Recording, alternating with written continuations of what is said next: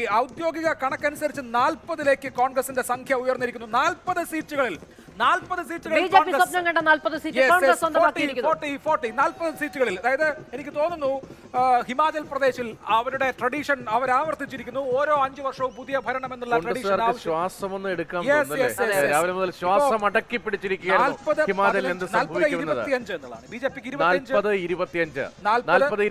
എങ്കിൽ സ്വാഭാവികമായും ഇത് വോട്ടെണ്ണിന്റെ അവസാന റൗണ്ടുകളിൽ കടക്കുന്നു എന്നതാണ് അവിടെ നിന്നുള്ള റിപ്പോർട്ടുകൾ. വിവിധ ഏജൻസികൾ റിപ്പോർട്ട് ചെയ്യുന്നത് നാൽപ്പത് ഇരുപത്തിയഞ്ച് എന്നത് ഔദ്യോഗികമായി സ്ഥിരീകരിക്കപ്പെടുകയാണ്. നാൽപ്പതിടത്ത് കോൺഗ്രസ് ലീഡ് ചെയ്യുന്നു. ഇരുപത്തിയഞ്ച് സീറ്റുകളിൽ ബി ജെ പി ലീഡ് ചെയ്യുന്നു.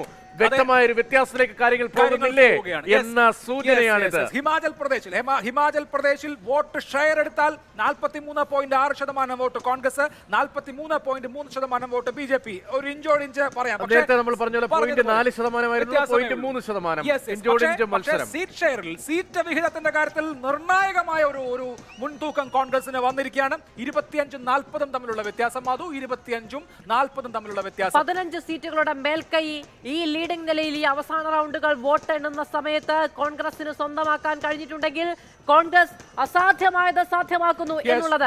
അത് ഇതുവരെയുള്ള ഹിമാചലിന്റെ രാഷ്ട്രീയ വിധിയെഴുത്തിന്റെ ചരിത്രം നോക്കിയല്ല അസാധ്യമായത് സാധ്യമാക്കുന്നു എന്ന് പറയുന്നത്. അത് ആനുകാലിക രാഷ്ട്രീയത്തിൽ നിന്നുകൊണ്ട് ബി ജെ പിയെ എതിരിട്ട് ജയിക്കാൻ കഴിയുന്നു എന്നുള്ളിടത്താണ് കോൺഗ്രസ് നേരിട്ട അഗ്നിപരീക്ഷ. അത് ഹിമാചലിൽ അവർ യാഥാർത്ഥ്യമാക്കിയിട്ടുണ്ട് എങ്കിൽ നാൽപ്പത് സീറ്റുകൾ ഇരുപത്തിയഞ്ച് സീറ്റുകളിലേക്ക് ബി ജെ പി ഒതുക്കിക്കൊണ്ട് നാൽപ്പത് സീറ്റുകൾ സ്വന്തമാക്കാൻ കോൺഗ്രസിന് സാധിച്ചിട്ടുണ്ട് എങ്കിൽ ഞങ്ങൾ ഇവിടെ അവശേഷിക്കുന്നു. ഞങ്ങൾ ഇവിടെ രാഷ്ട്രീയ യുദ്ധത്തിന് തയ്യാറെടുക്കുന്നു. അതിന് ത്രാണിയുള്ള ഒരു രാഷ്ട്രീയ പാർട്ടിയായി അവശേഷിക്കുന്നു എന്നുള്ള. തുറന്ന ഹിമാചൽ പ്രദേശിന്റെ റിസൾട്ട് വരുമ്പോൾ ഇപ്പോൾ ശ്രദ്ധിക്കാനുള്ള കാര്യം. തിയോഗ് മണ്ഡലത്തിൽ സി പി എം സ്ഥാനാർത്ഥി മൂന്നാം സ്ഥാനത്തേക്ക് പിന്തള്ളപ്പെട്ടിരിക്കുന്നു മൂന്നാം സ്ഥാനത്ത്. മൂന്നാം സ്ഥാനത്തേക്ക്.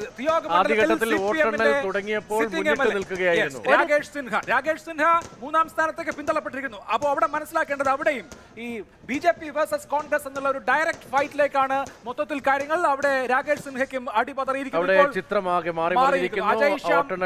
സ്ഥാനാർത്ഥിയാണ് ഇപ്പോൾ രണ്ടാം സ്ഥാനത്ത്. അതായത് കോൺഗ്രസിനെ സംബന്ധിച്ച് നാൽപ്പത് സീറ്റ് എന്ന കംഫർട്ടബിൾ ആയ അവസ്ഥയിലേക്ക് കോൺഗ്രസ് പോവുകയാണ്. ഇനി ചെറിയ ചില സീറ്റുകളിൽ മാത്രമേ ചെറിയ വോട്ടുകളുടെ വ്യത്യാസം വരുന്നുള്ളൂ. എനിക്ക് തോന്നുന്നു ഹിമാചൽ പ്രദേശിൽ കോൺഗ്രസ് വിജയിക്കാൻ പോവുകയാണെന്ന് ഏറ്റവും സൂചനയും അത്തരം അപ്ഡേറ്റുകളുമാണ് പുതുതായി വന്നുകൊണ്ടിരിക്കുന്നത്.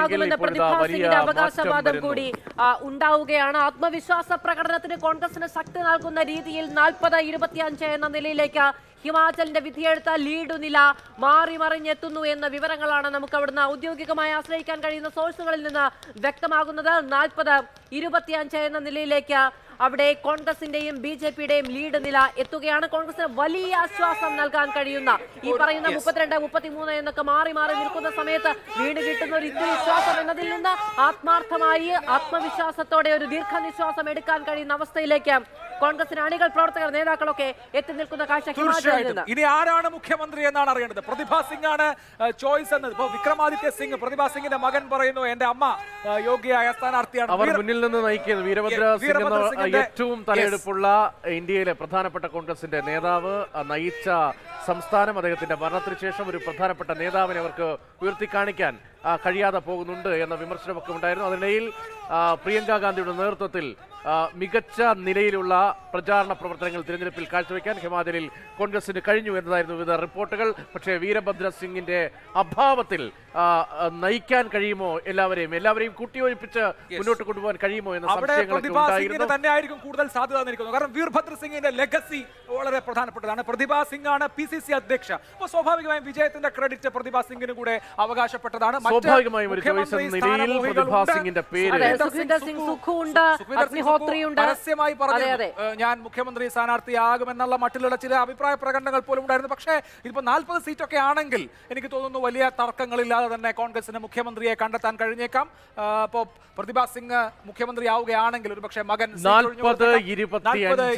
ഔദ്യോഗിക കണക്ക് തിരഞ്ഞെടുപ്പ് കമ്മീഷന്റെ ഔദ്യോഗിക കണക്ക് പ്രകാരം നാൽപ്പത് ഇരുപത്തിയഞ്ച് എന്ന നിലയിൽ ഇപ്പോൾ ഹിമാചൽ പ്രദേശിലെ ചിത്രം മാറി മറിയുന്നു എന്നതാണ് ഏറ്റവും ഒടുവിൽ പ്രേക്ഷകരുമായി പങ്കുവയ്ക്കാൻ കഴിയുന്നത്. ഹിമാചൽ പ്രദേശിൽ കോൺഗ്രസ് അധികാരത്തിലേക്ക് എത്തുമോ എന്ന ചോദ്യം വളരെ പ്രസക്തമായ ചോദ്യം ബി ജെ പിയെ സംബന്ധിച്ച്. ബി ജെ പിക്ക് ദേശീയ അധ്യക്ഷന്റെ നാട്ടിൽ പരാജയം രുചിക്കേണ്ടി വരുമോ? ഈ മഹാവിജയം ഗുജറാത്തിലെ മഹാവിജയത്തിന്റെ തിളക്കത്തിൽ നിൽക്കുമ്പോൾ പിന്നാക്കം പോകേണ്ടി വരുമോ? ആ തിളക്കത്തിന്റെ കുറഞ്ഞു പോകുമോ? അറുപത്തിയെട്ട് സീറ്റ് മാത്രമുള്ള ഒരു ചെറിയ സംസ്ഥാനമാണെങ്കിലും ഇതിന്റെ വൈകാരികവും അതുപോലെ തന്നെ സാന്ദർഭികവുമായിട്ടുള്ള കാര്യം എന്ന് പറയുന്നത് ഇതുപോലെ ഒരു രാഷ്ട്രീയ കാലാവസ്ഥയിൽ ബി ജെ പിയെ തോൽപ്പിച്ച് കോൺഗ്രസ് ഒരു സംസ്ഥാനത്ത് അധികാരം പിടിക്കുന്നു എന്നുള്ളതാണ്. അത് എത്ര ചെറിയ സംസ്ഥാനമാണെങ്കിലും അത് എത്ര ചെറിയ സംസ്ഥാനമാണെങ്കിലും അതിൽ പ്രതീകാത്മകമായി കോൺഗ്രസിനെ ആശ്വസിക്കാൻ ഒരുപാട് എങ്കിലും ഇപ്പോൾ ഒരു അന്തിമ നിഗമനത്തിലേക്ക് എത്താൻ കഴിയാത്ത സ്ഥിതിയുണ്ട്. കാരണം വോട്ടെണ്ണൽ തുടങ്ങിയപ്പോൾ മുതൽ മാറി മറിയുകയായിരുന്നു.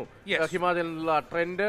ഒരു ഘട്ടത്തിൽ ബി ജെ പി മുന്നിൽ പിന്നീട് ഒരു ഘട്ടത്തിൽ കോൺഗ്രസ് മുന്നിൽ പിന്നീട് ഒപ്പത്തിനൊപ്പം മുപ്പത്തിമൂന്ന് മുപ്പത്തിമൂന്ന് എന്ന നിലയിലൊക്കെ മുന്നോട്ട് പോവുകയായിരുന്നു. ഇപ്പോൾ ട്രെൻഡ് മാറി മറിയുന്നു. പല മണ്ഡലങ്ങളിലും കുറഞ്ഞ വോട്ടിന്റെ ലീഡ് മാത്രമേ ഉള്ളൂ എന്നതാണ് തെരഞ്ഞെടുപ്പ് കമ്മീഷന്റെ ഔദ്യോഗിക വിവരങ്ങളിൽ നിന്നടക്കം വ്യക്തമാകുന്നത്. ചിലയിടത്ത് നൂറിൽ താഴെ വോട്ടുകളുടെ ലീഡ് മാത്രം നേരത്തെ ഉണ്ടായിരുന്നു. തൊണ്ണൂറ്റിയൊൻപത് വോട്ടിന്റെ അടക്കം ലീഡ് ഷിംലയിലൊക്കെ നമ്മൾ കണ്ടു. മറ്റ് പലയിടത്തും അഞ്ഞൂറ് വോട്ടിന്റെയും ആയിരം വോട്ടിന്റെയും താഴെ ലീഡുണ്ടായിരുന്നു വോട്ടെണ്ണൽ പുരോഗമിക്കുമ്പോൾ ഇരു പക്ഷത്തിനും ബി ജെ പിക്കും കോൺഗ്രസിനും ഒരേ voting percent vote share forty three percentage Yes. നേരിയ പോയിന്റ് ത്രീ പെർസെന്റിന്റെ മാത്രം ഒരു മാറ്റം ഒരു മേൽക്കൈ അത് ബി ജെ പിക്ക് അനുകൂലമായി ഇപ്പോൾ വോട്ടെണ്ണി വരുമ്പോൾ കാണുന്നുണ്ട്. എങ്കിലും മാറി മറിയുന്ന